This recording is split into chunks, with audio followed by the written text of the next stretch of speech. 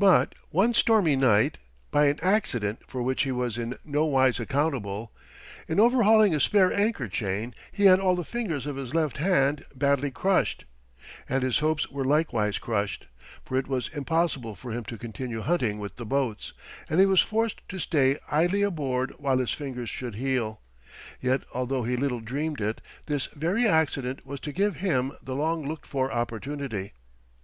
One afternoon in the latter part of May the Sophie Sutherland rolled sluggishly in a breathless calm. The seals were abundant, the hunting good, and the boats were all away and out of sight. And with them was almost every man of the crew. Besides Chris there remained only the captain, the sailing master, and the Chinese cook. The captain was captain only by courtesy. He was an old man, past eighty, and blissfully ignorant of the sea and its ways. But he was the owner of the vessel, and hence the honorable title. Of course the sailing master, who was really captain, was a thorough going seaman.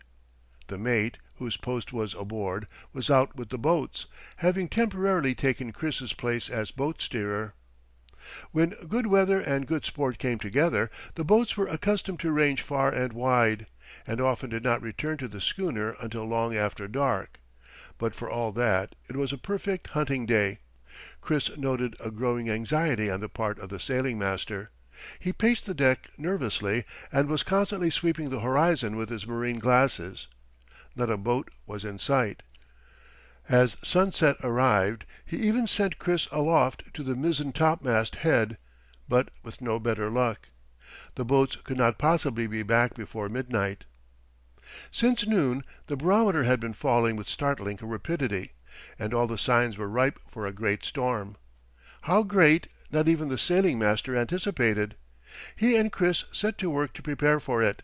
They put storm gaskets on the furled topsails, lowered and stowed the foresail and spanker and took in the two inner jibs. In the one remaining jib they put a single reef and a single reef in the mainsail.